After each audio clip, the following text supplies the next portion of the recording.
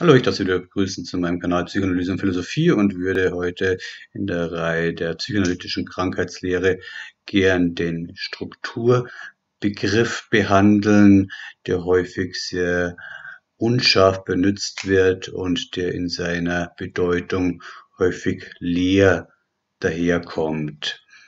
Was ist eine Struktur im Rahmen eines psychoanalytischen Verständnisses?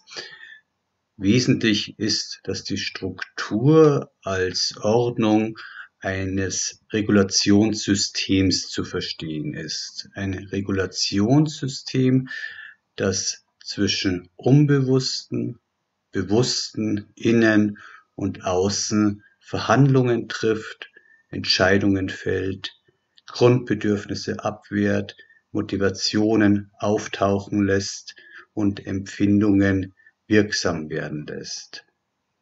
Dieses Regulationssystem ist von bewussten und unbewussten Faktoren bestimmt und konfrontiert sich mit inneren oder äußeren Reizen.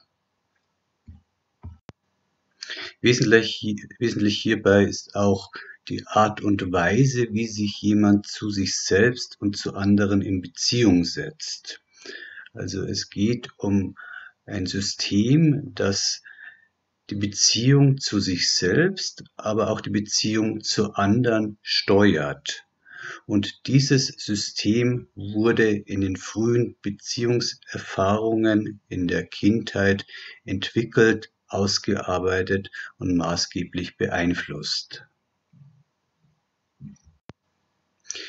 Im Zentrum des Strukturmodells der Psychoanalyse steht das Ich mit seinen Ich-Leistungen oder Ich-Funktionen. Dieses Ich hat Freud 1923 in der Schrift Das Ich und das Es entwickelt. Und wir würden gerne inhaltlich auf dieses Buch eingehen und ich empfehle Ihnen meinen Clip, in dem ich das Buch Das Ich und das Es von Sigmund Freud vorgestellt habe, sich anzuschauen. In diesen werden die drei Instanzen vorgestellt.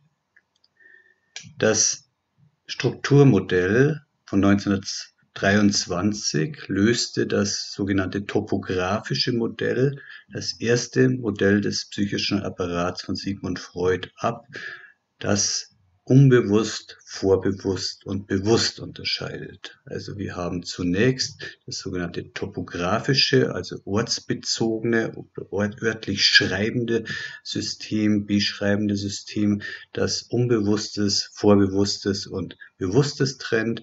Und dann in der Schrift Das Ich und das Es wird von Freud 1923 das Strukturmodell oder Instanzmodell vorgestellt. Und in diesem Modell des psychischen Apparates werden die jeweiligen drei Instanzen aufeinander bezogen und es wird von einer Ich-Struktur häufig gesprochen. Hier kommen wir in eine mangelnde Trennschärfe des Begriffs Struktur, weil zunächst wird der Begriff in der Psychoanalyse ja als Regulationssystem, in dem alle drei Instanzen miteinander Agieren verstanden im Strukturmodell, das die drei Instanzen Ich, Über Ich und Es in sich beinhaltet, wird der Begriff des Ichs nochmal in eine Struktur gebettet, die die Ich-Leistungen, die Ich-Funktionen, die Ich-Integrität, die Identität, die Selbststeuerung, die Affekttoleranz beinhalten. Wie können wir uns nun das Ich vorstellen? Das Ich ist eine Struktur, die, wie wir schon beschrieben haben, aus frühen Beziehungserfahrungen entstanden ist. Das Ich ist auf der einen Seite Organ der Anpassung nach innen und nach außen, aber auch eine Art beobachtende Instanz, die versucht, Ansprüche des Unbewussten, Triebbedürfnisse, Triebimpulse, mit dem Außen, aber auch mit dem sogenannten Über-Ich zu koordinieren. Das Ich beinhaltet gewisse Funktionen, wie zum Beispiel unspezifisch die Affekttoleranz, die Frustrationstoleranz oder die sogenannte mangelnde Sublimierungsfähigkeit, aber auch spezifische Manifestationen wie zum Beispiel die Identität, die Impulskontrolle, aber auch Phänomene wie Wahrnehmung und Denken. Es wäre falsch, das Ich als eine bewusste Instanz zu beschreiben. Das Ich hat bewusste und unbewusste Anteile. So sind zum Beispiel sämtliche Abwehrmechanismen unbewusst. Das Ich ist eine Art Vermittler, das versucht, den psychischen Apparat in Gleichgewicht zu halten und Entwicklung möglich zu machen. Freud hat die verschiedenen Instanzen auch mit unterschiedlichen Prinzipien in Verbindung gebracht und im Ich regiert das Realitätsprinzip und im Es der zweiten Instanz das sogenannte Lustprinzip. Das Es können wir uns als eine dynamische dynamisches Reservoir von Erregungsströmen, Innovationen vorstellen, die vor sich hin brodeln und die Triebbefriedigung suchen. Das Es ist unbewusst und ist nicht zugänglich. Als Teil des Unbewussten ist es nicht zugänglich. Und diesen Es und diesen Ich wird ein Über-Ich zugeordnet, das maßgeblich die Gebote oder die Verbote der jeweiligen Erziehung in sich aufgenommen hat und das zwei Anteile in sich birgt. Der eine Anteil ist das sogenannte Ich-Ideal, also die Ideale des Menschen, die jeweils über die Sozialisation in seine Psyche eingeschrieben wurden und das sogenannte Über-Ich, hier wird Freud etwas äh, terminologisch unklar, dass die Gebote und Verbote und Bestrafungsängste auch in sich trägt. Und diese drei Instanzen sind nun in einem Konflikt, der sich auch gegenüber der Umwelt darstellt. Es-Ansprüche, Triebbedürfnisse werden dem Ich im Rahmen von Triebabkömmlingen, das sind die Gefühle, zugeführt in einer Passage, die vorbewusst ist und das Über-Ich greift ein, um in einer Art Zensur die jeweiligen Triebansprüche unter Kontrolle zu bringen. Also es kommt zu Konflikten zwischen Ich und Über-Ich, aber auch Über-Ich und Es, aber auch Konflikte, die alle Instanzen mit einbeziehen. Das, was wir nun bei Freud kennengelernt haben, entspricht dem klassischen Strukturmodell der Psychoanalyse und geht davon aus, dass das Ich weitgehend funktionsfähig ist. Diese Funktionsfähigkeit des Ichs ist mit den Neurosen verbunden. Bei einer neurotischen Struktur wird davon ausgegangen, dass das Ich ein gewisses Niveau hat, dass das Ich eine gewisse Funktionsfähigkeit ist, die dessen ähm, Verhalten beziehungsweise dessen Funktionieren gewährleistet und das nicht schwer beschädigt erscheint. Die Neurose also als Krankheitsentität, in der das Ich stabil erscheint.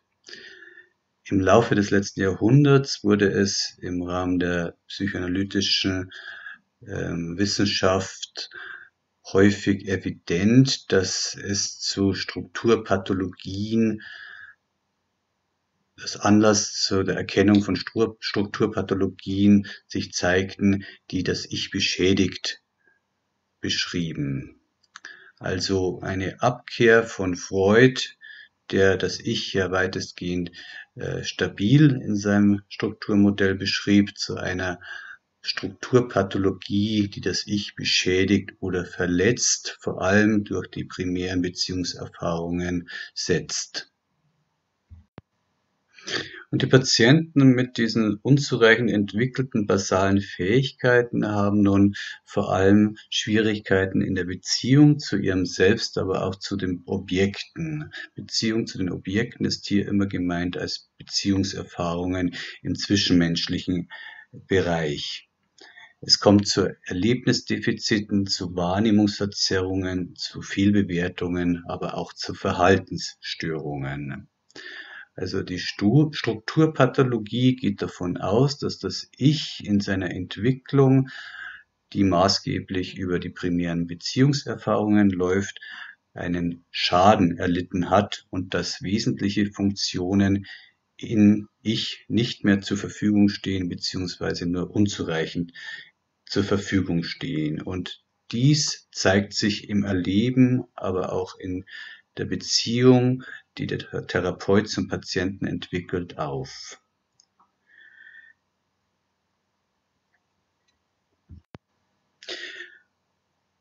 Diese Beschädigungen des Ichs sind nun auch von diagnostischer Bedeutung und die Psychoanalyse bzw. die psychodynamische Therapie hat ein Manual entwickelt, die sogenannte operationalisierte psychodynamische Diagnostik, die auf verschiedenen Achsen nun den Patienten versucht zu beschreiben und im Rahmen der Strukturpathologie spricht die OPD von sogenannten basalen strukturellen Fähigkeiten und die würde ich Ihnen kurz nennen. Eine ist die Selbstwahrnehmung und die Objektwahrnehmung.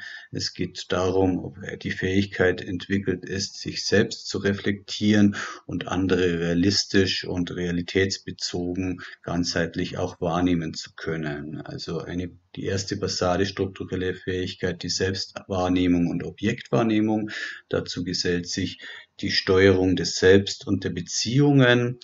Die Frage stellt sich in, dieser, in diesem Bereich, inwieweit eigene Impulse und Gefühle auch kontrolliert werden können, wie durch diese Kontrolle auch der Selbstwert reguliert wird und wie der Bezug der Impulse auch in Beziehung zu anderen kontrolliert werden können. Also Kontrollmöglichkeit des Selbst.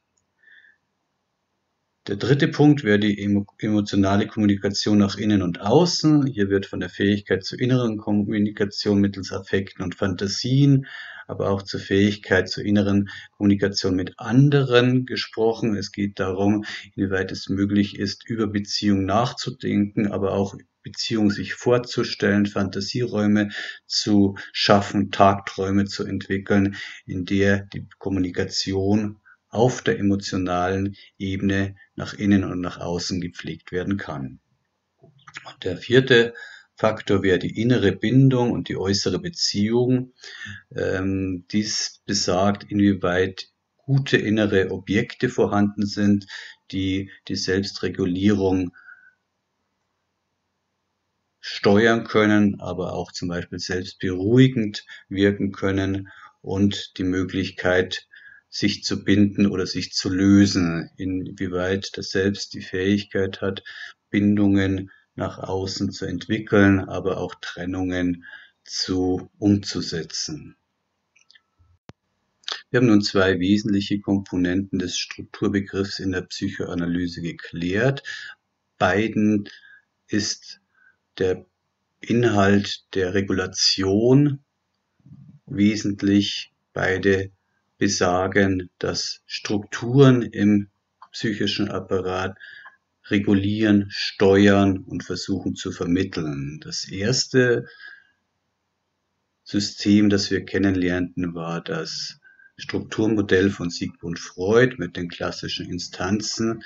Das zweite ist ein mehr modernerer Ansatz, der die Struktur als ein Regulationssystem versteht, das aus Beziehungserfahrungen sich entwickelt hat und das mit Fähigkeiten in Verbindung stehen, das Ich bzw. das Selbst zu kontrollieren und zu steuern. Ich als Begriff des Substanz, des Instanzmodells, selbst als Begriff der späteren Selbstpsychologie.